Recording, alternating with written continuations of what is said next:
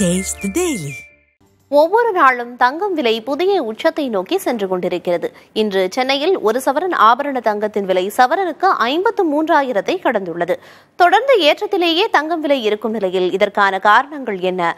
பங்குச்சந்தையும் ஏறுமுகத்திலேயே இருக்கிறது. இதன் பின்னணி என்ன என்பது பற்றி விவரிக்கிறார் செய்தியாளர் பாலவெற்றிவேல் மஞ்சள் உலோகம் என்று அழைக்கப்படக்கூடிய தங்கத்தினுடைய விலை வரலாறு காணாத அளவிற்கு அதிகரிச்சிருக்குது. சென்னையில் ஒரு கிராம் தங்கத்தினுடைய விலை ஆறாயிரத்தி அறுநூறு ரூபாய்க்கு விற்கப்படுது. இந்நிலையில் தங்கம் தொடர்ச்சியாக அதிகரித்து வருவதற்கான காரணம் என்ன என்பது குறித்து விரிவாக நம்ம பார்க்க போகிறோம் மார்ச் ஒன்றாம் தேதி ஒரு சவரன் தங்கம் நாற்பத்தி ஆறாயிரத்தி எழுநூத்தி இருபது ரூபாய்க்கு விற்கப்பட்டது. இதுவே ஏப்ரல் ஒன்றாம் தேதி ஐம்பத்தி ஓராயிரத்தி அறுநூத்தி நாற்பதுக்கு விற்கப்படுகிறது.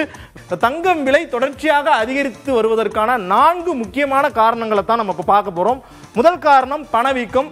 கொரோனா காலத்திற்கு பிறகே பொருளாதார மந்த நிலை உலகம் முழுவதும் ஏற்பட்ட நிலையில் உலக நாடுகள் எல்லாமே அவங்களுடைய கரன்சி வேல்யூவும் குறைந்து வந்தது. எனவே அந்த பணவீக்கத்தை கட்டுப்படுத்துவதற்காக அதிகரித்து வரும் பணவீக்கத்தை குறைப்பதற்காக என்ன பண்ணாங்கன்னா வட்டி விகிதத்தையும் அதிகரித்தாங்க குறிப்பாக நம்ம அமெரிக்காவே எடுத்துப்போம். ஏன்னா அவங்க தான் உலக வல்லரசாக கூறப்படுறாங்க. அமெரிக்காவில் உள்ள சென்ட்ரல் பேங்க் என்ன பண்ணுறாங்க அப்படின்னா பணவீக்கத்தை குறைப்பதற்காக வட்டி விகிதத்தை ஐந்து புள்ளி ஐந்து சதவீதம் அளவிற்கு அதிகரிச்சாங்க. அவங்க நினச்ச மாதிரியே வட்டி விகிதத்தை அதிகரிச்ச உடனே பணவீக்கம் குறைஞ்சது.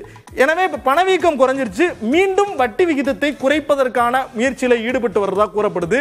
இதன் காரணமாகவே முதலீட்டாளர்கள் தங்கத்தின் பக்கம் போகிறதா கூறுறாங்க. ஏன் வட்டி விகிதத்தை குறைச்சா தங்கத்து பக்கம் போகிறான் அப்படின்னா வட்டி இருந்தால் தானே அதிக அளவுக்கு ரிட்டர்ன் வாங்க முடியும். வட்டியினுடைய விகிதம் குறைஞ்சு விட்டா இன்வெஸ்ட் பண்ணா அதுல இருந்து கிடைக்கக்கூடிய தொகையும் குறைவாக இருக்கும் என்பதால் தங்கத்தில் இன்வெஸ்ட் பண்ணும்போது அதிக அளவு பணம் கிடைக்கும்னு நெ- நினைக்கிறாங்க. மேலும் அடுத்து டாலருக்கு எதிரான ரூபாய் மதிப்பு பொதுவாக எல்லாருக்கும் தெரிகிற ஒரு ஃபேக்டர் அமெரிக்க டாலர் தான் எல்லா உலக கரன்சிலையும் ரொம்ப பவர்ஃபுல்லானது எக்ஸ்சேஞ்சுக்கு ரொம்ப முக்கியத்துவம் வாய்ந்தது. தொடர்ச்சியாகவே டாலருக்கு நிகரான ரூபாயினுடைய மதிப்பு சரிஞ்சிட்டு இருக்கு. ஒரு எண்பத்தி மூன்று ரூபாய் அப்படிங்கிற அளவுக்கு ஒரு டாலர் மதிப்பு இருக்கிற நிலையில தொடர்ச்சியாக இதுவும் தங்கத்தினுடைய விலை அதிகரிப்பதற்கான ஒரு முக்கியமான காரணமாக இருக்கு. சர்வதேச அரசியல் காரணிகள் ரொம்ப ரொம்ப ஒரு முக்கியமான பாயிண்ட். குறிப்பாக இஸ்ரேல் பாலஸ்தீன போர் ரஷ்யா உக்ரைன் போர் காரணமாக உலகம் முழுவதும் ஒரு உணவு சங்கிலியினுடைய அந்த கேப் வந்து அறுபட்டு இருக்குது குறிப்பாக உக்ரைன்ல இருந்தால் நம்ம அதிக அளவு சன்ஃப்ளவர் ஆயில் வாங்குவோம். அது நம்மளால் வாங்க முடியல.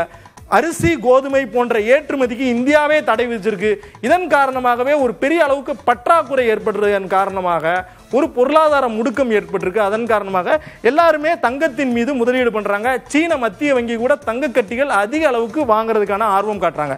அடுத்ததாக நம்ம பார்க்க போகிறது தங்கத்தோடு தொடர்பில்லாத இன்னொரு முதலீடு. அதுதான் பங்குச்சந்தை முதலீடு.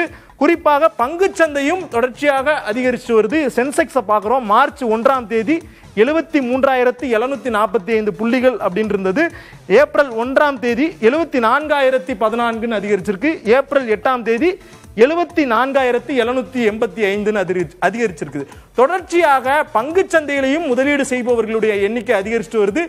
தங்கத்தின் மீதான கலாச்சார மோகம் மற்றும் தங்கத்தில் முதலீடு பண்ணால் அதிக அளவு ரிட்டர்ன் பெற முடியும் பாதுகாப்பான பணத்தை வச்சிருக்க முடியும் அப்படிங்கிற ஒரு காரணத்தினால தங்கத்தின் மீதான மோகம் பிளஸ் வந்து தங்கத்தின் மீதா- மீதான விலையும் அதிகரிச்சுட்டு வருது.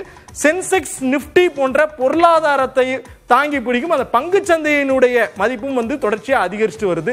இதைத்தான் இந்த டேட்டா நமக்கு உணர்த்துது.